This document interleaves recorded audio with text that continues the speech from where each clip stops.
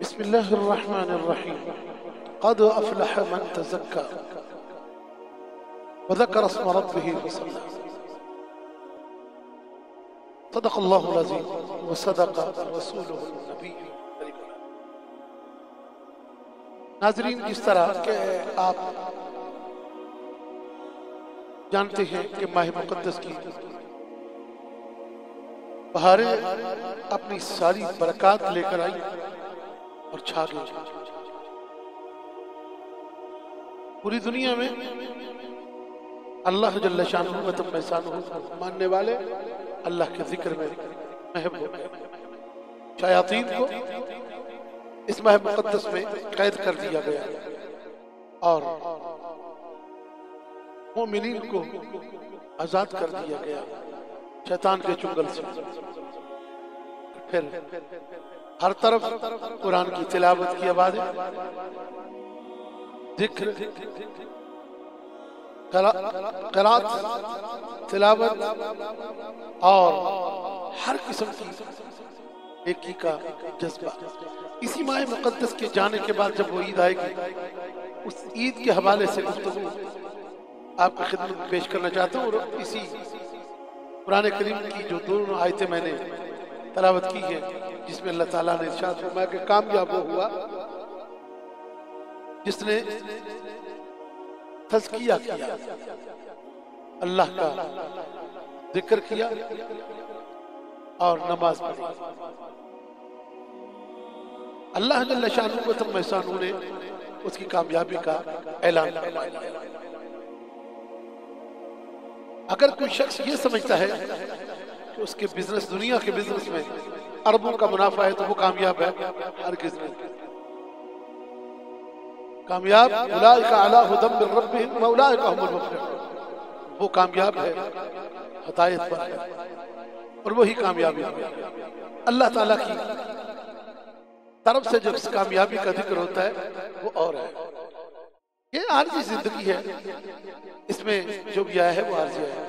تو میں آج کی اس مجلس میں آپ کی خدمت میں ڈائریکٹلی مصطفیٰ کریم صلی اللہ علیہ وآلہ وسلم وبارک وسلم کی، صحابہ کی عید کرنے کا جو انداز ہے وہ عرض کرنا چاہتا ہوں۔ حضرت عمر بن عبدالعزیز رضی اللہ تعالیٰ حضرت عمر فاروق اعظم رضی اللہ تعالیٰ حضرت مولا کائنات کرم اللہ وجہ الکریم اور دیگر صحابہ نے رسول اللہ صلی اللہ علیہ وآلہ وسلم سے جنہوں نے پڑھا اور سیکھا، ان کے انداز دیکھیے، حضرت علی کرم اللہ وجہ الکریم، جن کا چہرہ دیکھنا عبادت ہے۔ عید کا دن آیا، تو عید کے دن جاؤ کی باسی روٹی کھا رہے شخص آ کے دیکھتا ہے، مولا کائنات، یہ وہ ہستی ہیں کہ تین روزے رکھے، ادھار جو لے کر آئے، کھانا تیار ہوا۔ سائل آیا، اس کے حوالے کر دیا، خود پانی سے روزہ رکھا۔ آج عید کا دن ہے۔ جو کی باسی روٹی کھا رہے ہیں۔ اور پوچھنے والے نے کہا، اے ابو الحسن والحسین، آج کا دن، یہ جاؤ کی روٹی۔ آپ کو پتہ نہیں آجید ہے۔ مولا کائنات کے ایک ایک قول پر میرے ماں باپ قربان آپ نے ارشاد فرمایا ہاں مجھے بھی پتہ ہے عید کا دن ہے۔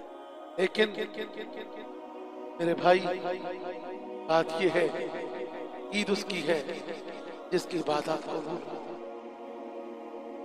یہ عبادت کا دن ہے۔ یہ کوئی گوشت کھانے کا دن نہیں۔ عید اس کی ہے کہ جس کی عبادت قبول ہو۔ عید اسی کی ہے جس کے روزے قبول ہوں۔ اور فرمایا کہ میں اللہ تعالیٰ کے خوف سے ڈر رہا ہوں اور میں جو کی روٹی سے عید کا دل گزار رہا ہوں۔ سوال یہ پیدا ہوتا ہے کہ ہم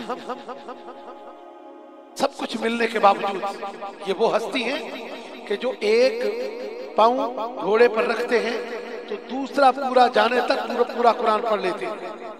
یہ وہ ہستی ہے جو جہان کو، جن کے صدقے اللہ تعالیٰ رزق عطا کر رہا ہے۔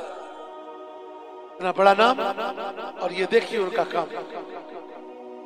اور یہ دیکھتے دوسرے صحابی۔ حضرت عبداللہ ابن عمر رضی اللہ تعالیٰ عنہ اور رسول اللہ صلی اللہ علیہ وسلم کے غلام عمر بن خطاب رضی اللہ تعالیٰ عنہ کے صاحبزادے۔ اس کا دن آیا، پھٹے کپڑے پہنے۔ ہوئے حضرت عمر بن خطاب رضی اللہ تعالیٰ عنہ اپنے بیٹے عبداللہ ابن عمر کو دیکھا فرمایا بیٹا آنکھوں سے آنسو جاری ہو گئے۔ کہا بیٹا کپڑے پھٹے ہیں تیرے لوگ دیکھیں گے کیا کہیں گے؟ دل ٹوٹے گا۔ حضرت عبداللہ ابن عمر نے اپنے بابا سے کہا اے ابا جی دل تو اس کا ٹوٹے جس, جس نے اللہ کو راضی نہ کیا۔ جس نے رمضان المبارک کے روزے نہ رکھے ہو، جس نے ماہ مقدس کی برکات حاصل نہ کی، دل تو اس کا ٹوٹے کپڑے میرا دل نہیں توڑ سکتے، میرا دل اللہ کے ذکر سے جڑ چکا ہے۔ حضرت عمر بن خطاب رضی اللہ تعالیٰ بتاتے خود عید کا دن آیا، اندر دروازہ بند کر کے تو عید کی رات رونا شروع ہو گئے روتے جا رہے ہیں۔ جب جب جب جب دوسرے صحابہ نے دیکھا کہ حضرت عمر اپنے روم میں، اپنے کمرے میں داخل ہے اور بند ہے اور رو رہے ہیں۔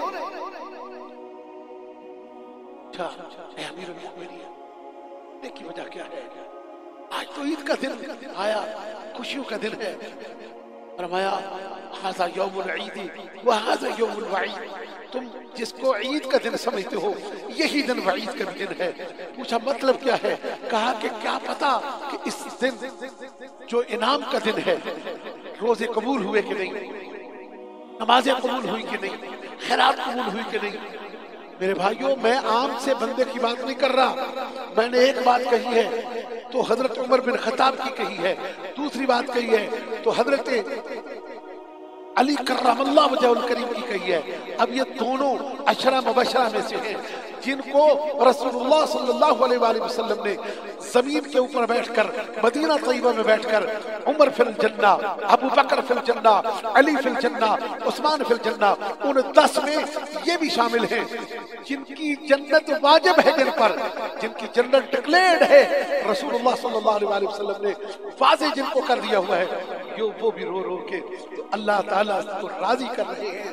میں آپ کے خدمت میں یہ گزارش کروں۔ ابھی بھی اگر آپ نے سستی کی ہے تو توبہ کریں۔ اللہ سے معافی مانگے ہم نے اس دنیا میں رہنا نہیں ہے، اس دنیا سے جانا ہے۔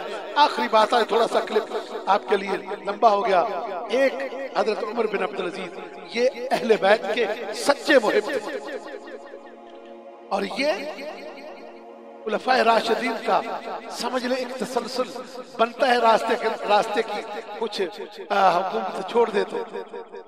یعنی یہ ان کے طریقے پر تھے خلفاء راشدین کے۔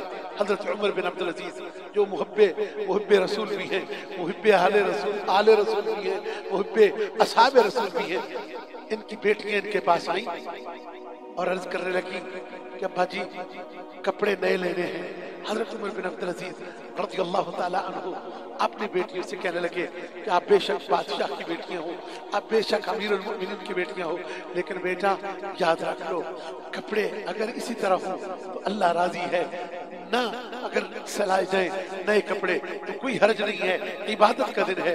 بیٹیوں کے آنکھوں سے آنسو آگئے کہنے لگی، جب باقی کی بچیاں نئے نئے کپڑے پہنے گی، تو ہمیں بھی محسوس ہوگا۔ حضرت عمر بن عبدالعزیز رضی اللہ تعالیٰ عنہ نے جب ان کا رونا دیکھا، تو آپ کی بھی آنسو آگئے آپ نے اپنے خازن کو بلایا، بیت المال والے کو کہا کہ ایسا کرو ایک مہینے کی ایڈوانس مجھے تنخواہ دے دو تاکہ میں اپنے بچیوں کے کپڑے سلا سکوں۔ کیونکہ بچیاں ہیں ہی ایسی ہوتی ہوتی ایسی ہے کہ ان کو کوئی ناراض نہیں کر سکتا۔ لہذا یہ کرنے پر بھی مجبور ہو گئے۔